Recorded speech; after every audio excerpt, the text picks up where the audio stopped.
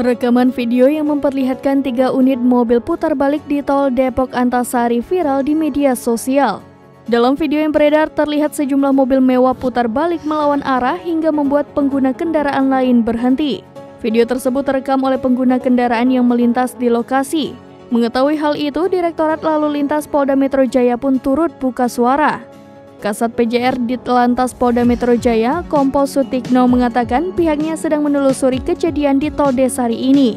Sutikno menambahkan para pengendara itu dinilai melanggar lalu lintas atas tindakan putar balik dan melawan arah. Hal senada juga dikatakan Kasat Lantas Polres Metro Depok Kompol Multazam Lisendra. Sementara itu, petugas call center Tol Desari, Ali menyampaikan kejadian ini pada Minggu 10 September 2023. Ia mengatakan pihaknya mengetahui setelah video mobil putar balik itu viral di media sosial. Ali menjelaskan kemungkinan ada tiga atau lima mobil yang melawan arah, tetapi jumlah pastinya masih dalam penyidikan. Download Tribun X sekarang, menghadirkan lokal menjadi Indonesia.